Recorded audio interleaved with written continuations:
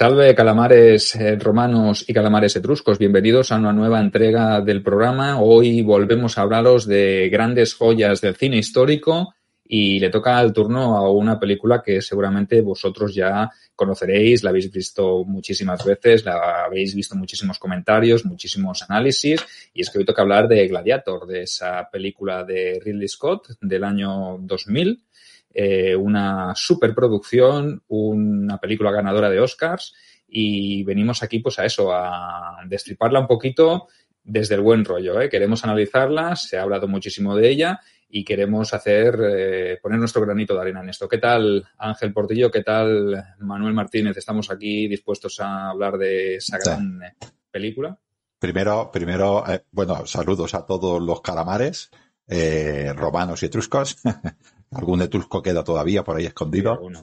Eh, a mí la película, ya voy a empezar a saco, la película como película, como ficción, como entretenimiento, me parece espectacular. Vamos a hablar de otros temitas de este tipo. Pero como película, tú se lo aconsejarías a alguien que la, que la viera, ya estás tardando.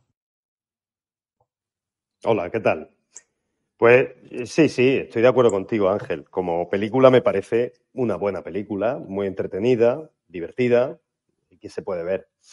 Yo lo que pasa es que, y ahora, eh, ¿qué voy a hacer? el malo de la película. El malo, el malo me toca a mí siempre hacer de malo. El cómodo, el cómodo del grupo, Sergio. Estoy cómodo, estoy más cómodo, eso es verdad. Estoy más cómodo que vosotros, pero no. El caso es que a mí me parece, yo lo que he hecho en falta, tío, es que haya un poquito más de. Es que hay tan buenas historias en la historia que no entiendo por qué siempre escogen guiones y de de cuestiones inventadas, ¿no? Entonces yo lo único que le puedo criticar a esta película, si la veo desde un punto de vista del entretenimiento, totalmente de acuerdo con vosotros. Me parece una gran película y muy interesante. Quizás no para recibir un Oscar a la mejor película.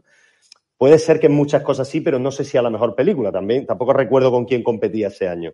Ni tampoco, desde luego, para darle un Oscar a Russell Crowe en ese papel, que luego ha tenido otros papeles que me han parecido más, más de, de requerir de un premio que, que el de este hombre Máximo, ¿cómo era? Máximo Décimo, Meridio. Décimo Meridio sí. está mal puesto el nombre, también es otra irregularidad, ¿no? Pero al final es un poco lo que, lo que digo, que hecho en falta, ¿por qué no han hecho más películas o no hacen más películas cogiendo eventos históricos? Tampoco tienen por qué ser hiperrealistas históricos. Se trata de una película al final y, ya digo que sé, soy consciente de la crítica que hago. Pero es quizá lo único que se le puede sacar, ¿no? Bueno, y alguna otra cosilla que ahora vamos viendo si queréis. Sí, yo, coincido contigo, Manu, en el tema de que es una película muy entretenida. De hecho, yo la he visto muchísimas veces. Me compré el DVD, tengo la versión con las escenas eliminadas. Sea, sí que es verdad que es una película muy entretenida, muy divertida, pero la historia ya es suficientemente entretenida como para poder tirar de ella. O sea, si hubiesen seguido el libro de la historia, hubiese sido muy, muy entretenida. Obviamente, pues no hubiese habido todo el tema de que Cómodo mata a su padre y se proclama, y parece como que en un año ya, y sabemos que Cómodo estuvo en el poder 12 años, ¿no? Entonces, sí que es verdad que carece de ese rigor histórico que es lo que más echamos en falta todos los historiadores. Ahora, sí que es verdad, o los amantes de la historia, ¿eh? en esto sí que es verdad que eh, ellos como siempre Hollywood no busca eso, no busca el rigor, sino que busca un producto que entretenga, que sea divertido, que las dos horas y pico, casi tres que dure la película, pues tenga la gente en vilo. Es una historia muy básica también, una historia de venganza, que la hemos visto miles y miles de veces en, en los guiones de, de cine, ¿no? Eh, un gran general que luego acaba siendo vilipendiado, asesinan a su familia, él eh, está a punto de morir, pero recurre a la venganza, se convierte en gladiador y se venga del propio emperador, que acaba muriendo a sus manos en, el propio anfiteatro, ¿no? En el propio eh, circo, ah, perdón, anfiteatro coloseo, ¿vale? Eh, bueno, sí, es muy básico. Sí, la, la película entretiene muchísimo, pero sí que es verdad que si la analizas con lupa te das cuenta de que es una historia muy elemental, muy básica, que tiene dosis de acción, pero porque tiene esas dosis de acción, porque si no la película tampoco tendría un guion demasiado complejo, ¿no? No es una historia que los que la pensaron se... Y es más, yo creo, leyendo mucho sobre lo que he leído sobre los artículos de, cómo se hizo y tal, fue una película que se hizo mucho sobre la marcha. Es decir, eh, los guionistas, eh, algunos guionistas se marcharon, dejaron al director un poco colgado en algún momento determinado. También es verdad que la historia, el peso de los de los mismos personajes, de los mismos actores, también influyó porque había caracteres muy duros y muy duros y muy difíciles de llevar. Ellos también metían su propio granito de arena. O sea, que imaginaos lo que pudo ser el rodaje. Muchas eh, incoherencias de guion, eh, muchas cosas que se improvisaron y se hicieron sobre la marcha. Entonces, también es verdad que falleció el propio Oliver Reed durante el rodaje del que hacía de próximo, del, del, el esclavista, del, del lanista, correcto. Murió durante el, el rodaje porque era un tipo que le había dado mucho la mala vida. Entonces, le llegó su hora cuando no se lo esperaba nadie. Tuvieron que improvisar algunas escenas y tuvieron que grabarlas, que se ven los recortes de que son imágenes de previas de escena que se había hecho antes. Entonces, sí que es verdad que ese guion estuvo un poco alterado. Y luego piensas, joder, una película que ha tenido todos estos líos internos, ¿cómo puede haber ganado un Oscar? Sin recordar, como dice Manu, contra qué competía, porque a lo mejor sí que es verdad que lo que había aquel año en cartelera en competición a lo mejor no era muy bueno, no sé. Yo, Sergio, eh, te doy toda la razón, pero el guionistas, problemas con actores, pero a ver, a ver, Sergio y Manu. Eh, la primera vez que llega Máximo este al anfiteatro, la primera vez, cuando yo llego a Roma y tú, qué grande que es esto, y lo sacan de allí, y aquel vocifera, aquel no le dice, voy a, dar un espectáculo que va a alucinar Roma entera. Romanos contra cartagineses. Y sale eh, y sale el, el, máximo con un montón de esclavos más que parecen romanos, pero romanos, y los pone en medio. Y los que hacían de romanos iban en cuadrigas, dando alrededor, lanzando flechas y lanzando eh, jabalinas a ti te parecían aquellos romanos. O sea, ¿qué guionista puede pensar eso? No, de hecho, sabes que, Ángel, que dos de los expertos históricos que tenían para la película, uno se quitó de en medio antes de terminar y otro le pidió a Ridley Scott que, por favor que no, no, aparecer en los créditos. O sea, no querían ni estar vinculados. Porque es verdad, y es lo que, lo que yo, eh, o sea, que, además no quiero que mi crítica se quede solo ahí, porque no es una cuestión únicamente de que diga, es que no tiene rigor histórico. Claro que no, es una película, puede tener más o menos, tampoco va a ser todo como la serie de Roma, que tienen, intentan ser bastante rigurosos, ¿no? Pero sí es verdad que hay cosas que a mí me llamaron la atención mucho y que no son tanto de rigor histórico como de lógica. Mira, por ejemplo, y por poner una cosa que, y sacar otro tema, porque es buena, la música de la película de Hans Zimmer, que soy muy fan además, me parece buenísima. Buenísima. Pero me saca totalmente, me saca en muchas escenas, no a lo mejor cuando están allí los gladiadores y tal, pero, por ejemplo, vete a la primera batalla. Es que al final, no sabes, me saca de... Es una música, igual que, por ejemplo, decíamos en Espartaco, cómo la música acompaña y está hecha pensando en cómo podía ser la música en esa época, cómo serían las fanfarrias romanas y demás. Entonces te mete un poquito más. En esta, no sabes, te daría lo mismo si te pones esa música y no sabes qué es Gladiator, estar escuchando La Roca o Piratas del Caribe. Es que daría lo mismo, es el mismo entorno musical, ¿no? Y luego, fíjate, yo, por ejemplo, la vi para hacer el, vídeo, me la he vuelto a ver hace poco. A mí lo que más me gusta, y, hay, y está lleno de imprecisiones históricas, son los primeros 15 minutos de la película prácticamente. Eso y una escena que ahora os diré. Y en esa primera escena, que son los primeros 15 minutos, que, que son muy épicos, pero si no te pones a pensar, porque ya eh, allí el ejército romano con catapultas lanzándole fuego, ¿dónde se ha visto un ejército? Eh, y en un bosque. ¿Dónde? O sea, las catapultas son un elemento de asedio. Es que son cosas que si, si no las piensas, y yo tengo la dificultad de, no pensarlas, porque es que se me vienen a la cabeza sin pensarlo mucho. Estoy viendo y estoy diciendo, tío, que sí que es muy épico. Pero, y, y, dónde está? Es decir, yo creo, para mí, la principal crítica que se le puede hacer a la película es que pone la acción por encima de todo. Es decir, al final, esta película, y lo hace bien, ¿eh? Lo que hace lo hace bien, pero antepone esa acción a cualquier otra cosa, a la, historia. Eh, él baja a caballo desde, desde Germania, creo que estaban, ¿no? Eh, baja a caballo hasta España. Cuesta abajo. Hasta, Mérida, ¿no es? O sea, es que como es cuesta abajo. es verdad, tío. Además, Mérida, Mérida está cerca, porque yo he ido, yo he visitado Mérida, eh, está muy cerca de los desiertos de Arabia. Está al lado. Ah, exactamente. Y, y, encima eso también, ¿no? Ya a partir de ahí, son, ya no son imprecisiones históricas, son imprecisiones de guion, para hacerlo más. Eh, o sea, nadie se pregunta cuando está ahí él que llega a su casa y ardido y tal. Coño, ya lo que le faltaba al hombre es que pasaran unos esclavistas de Arabia por allí Bueno, porque les cogí a mano, les cogí a mano Emerita Augusta, tío. Dijeron, uy, pues mira, que hay un señor que está llorando a su familia, pues mira, eh, lo llevamos. Mira, le han quemado la casa y está ahí moribundo. Vamos a, a, meterlo de esclavo, ¿no? Entonces, yo, son esas cosas las que, es decir, estoy de acuerdo contigo, Ángel, es una peli que recomendaría, por supuesto, pero la recomendaría previamente con estos parámetros, decir, oye, si lo que tú quieres ver es una peli de romano, histórica y tal, tengo otras recomendaciones que hacerte. Si lo que tú quieres ver es una peli que te va a divertir, con escenas súper épicas, mm, que funciona muy bien todo en cuanto a acción, la verdad, ver Roma, cómo está reconstruida Roma, por ejemplo, es, impresionante, ¿no? O, o, la escena que tú decías, Ángel, que a mí es de mis preferidas, antes de que pase esto que tú dices, ¿no? Que es cuando salen ellos al Coliseo y se quedan asombrados viendo la cantidad de gente que hay allí, o sea, como algo que nunca he visto, ¿no?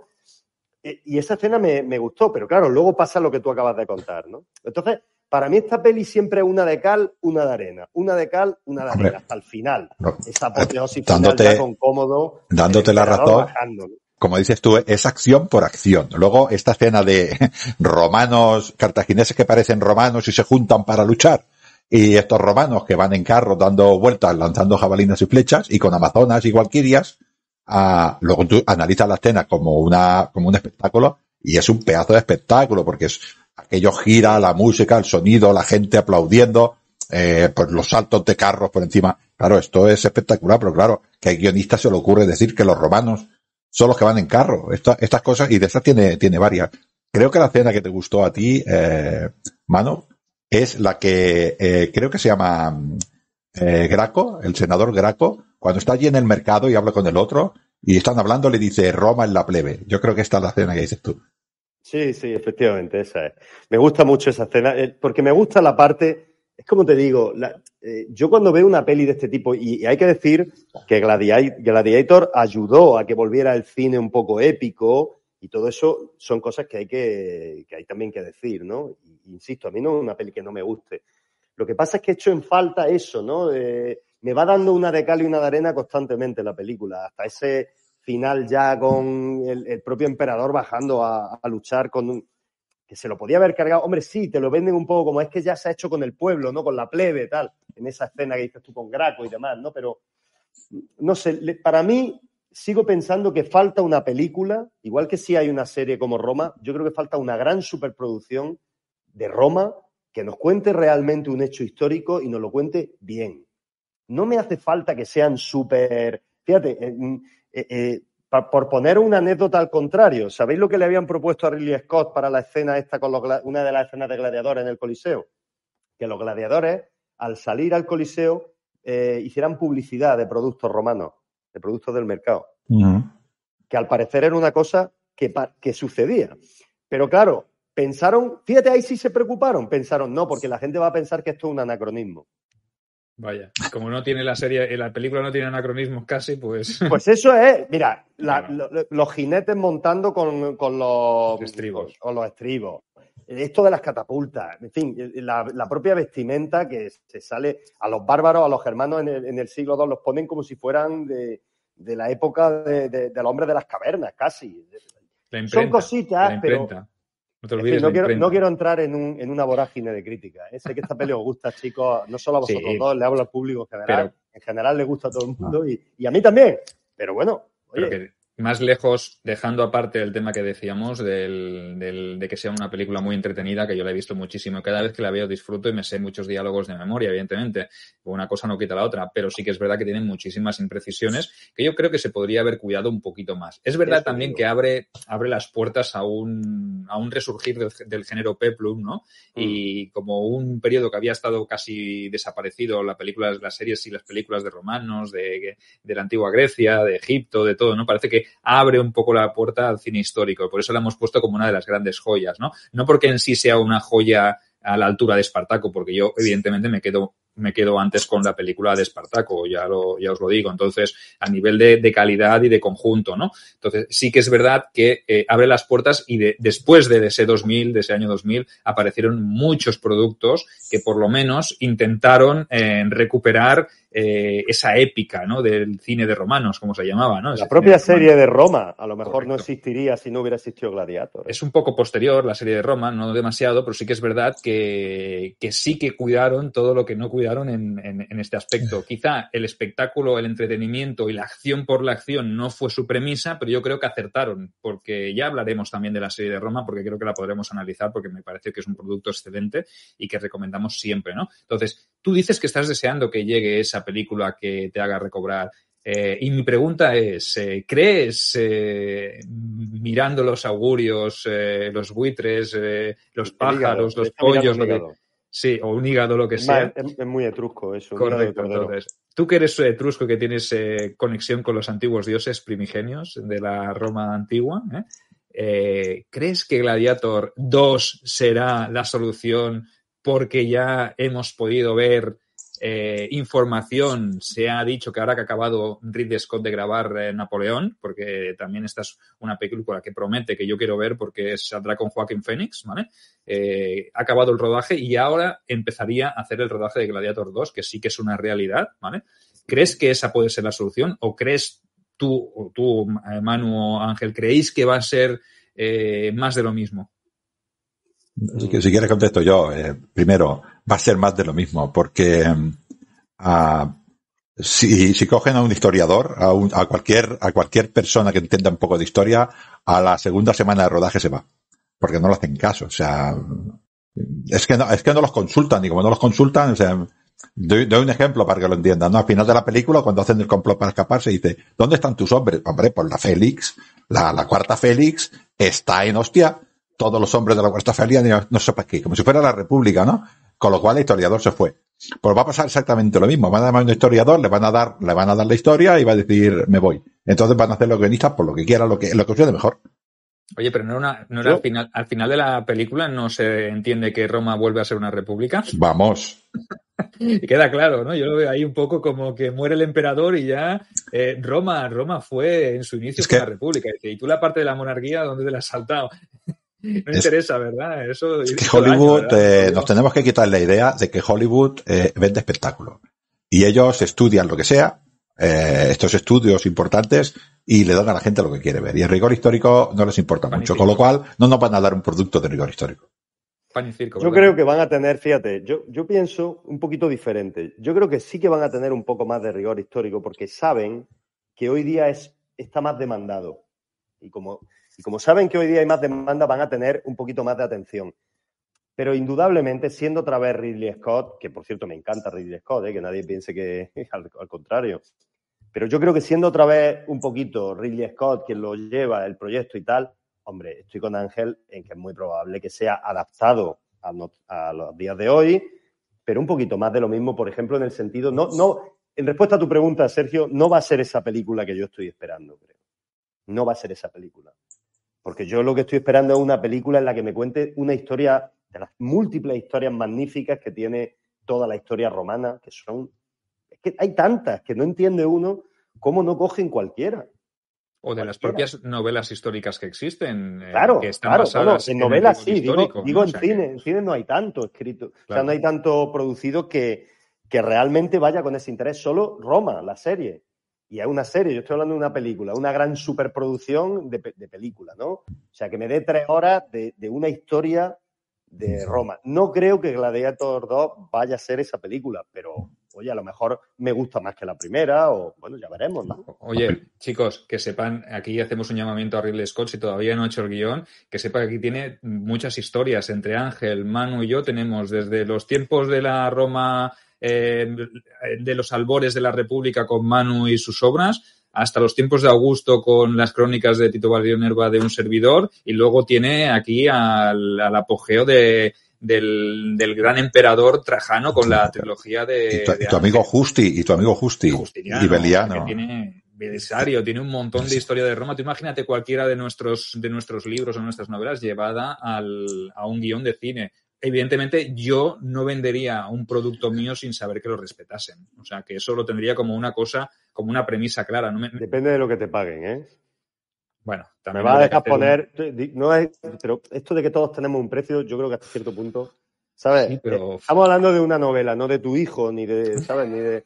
Estamos hablando ni de, ni de tu mujer, no. Estamos hablando de, tu novela. Entonces, depende, Sergio. Pero sería faltar a otros principios, no sé. A ver, vamos a hacer la pregunta, vamos a hacer ese ejercicio ¿no? de, reflexión. ¿Seríamos capaces de pervertir nuestra historia o todo nuestro esfuerzo y nuestro trabajo por un puñado de denarios? Por un puñado, no. ¿Por un buen puñado?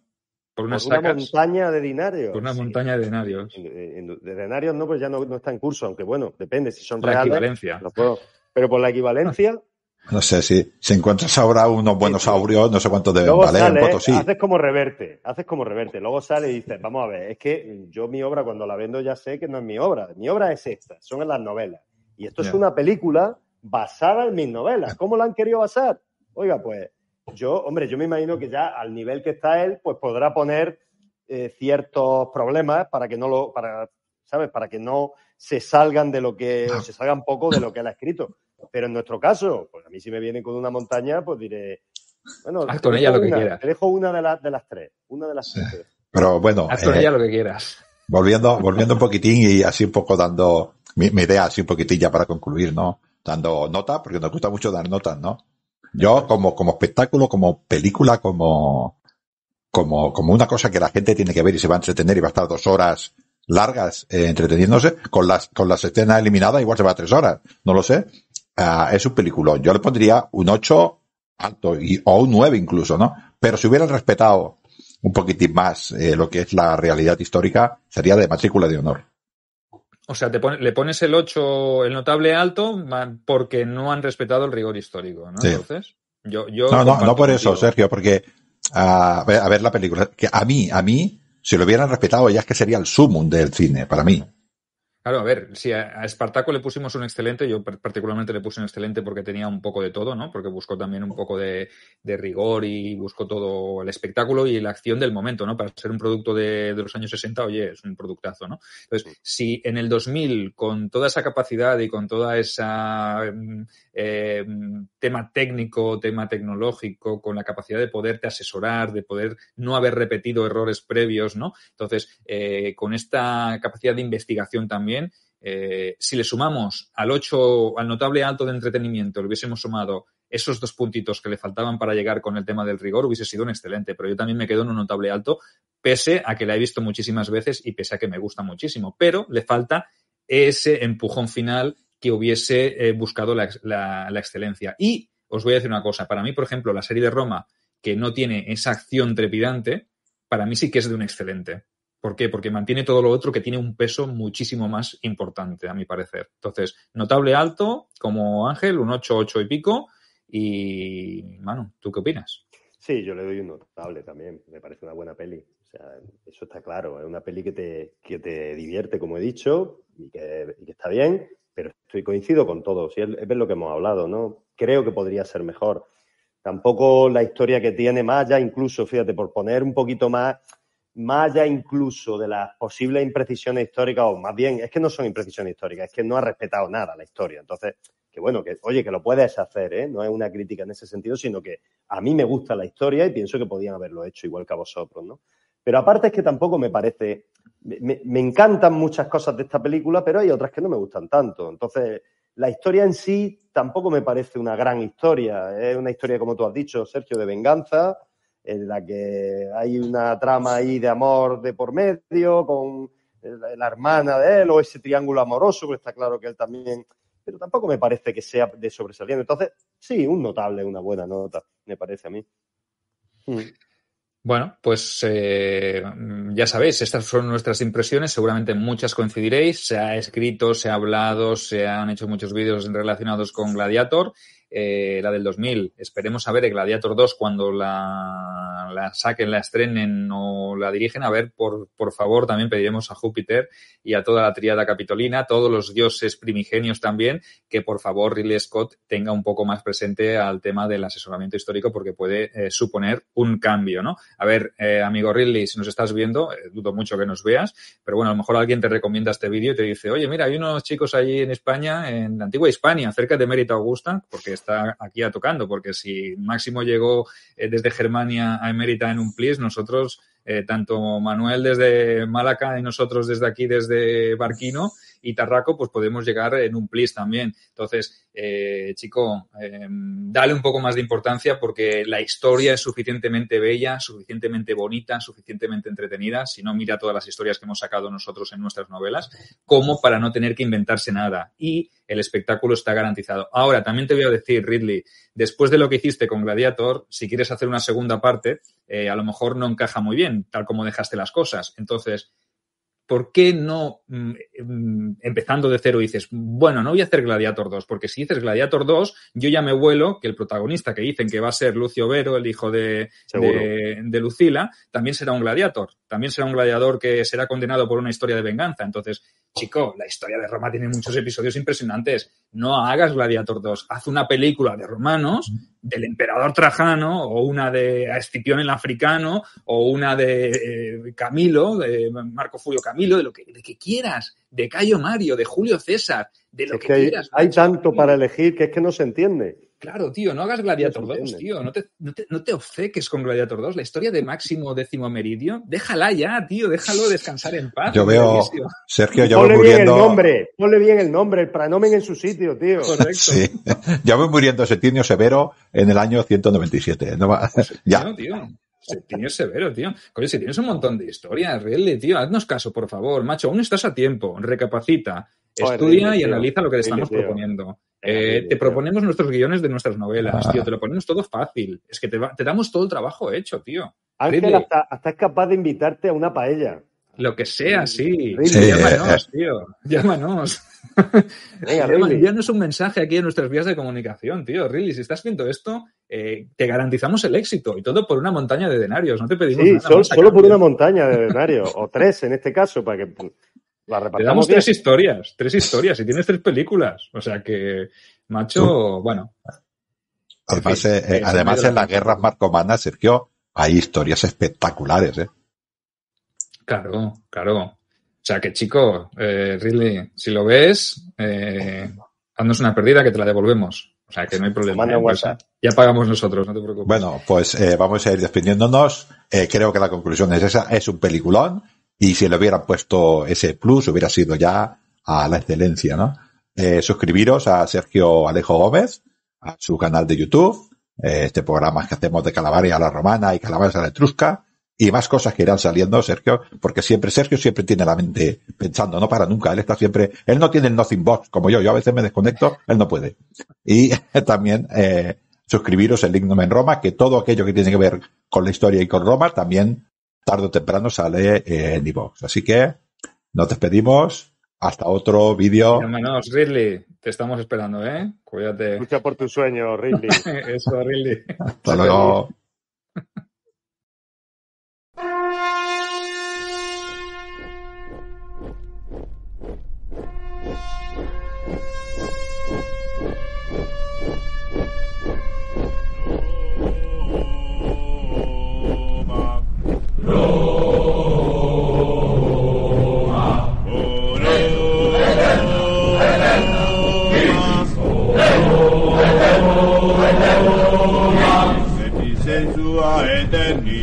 sensuale inverni, corda nostra solo tibi, corda nostra solo un tibi, septi sensua eterni, septi sensua eterni, vita nostra solo tibi, vita nostra solo un tibi, leggo, eterna, eterna, vitris, leggo,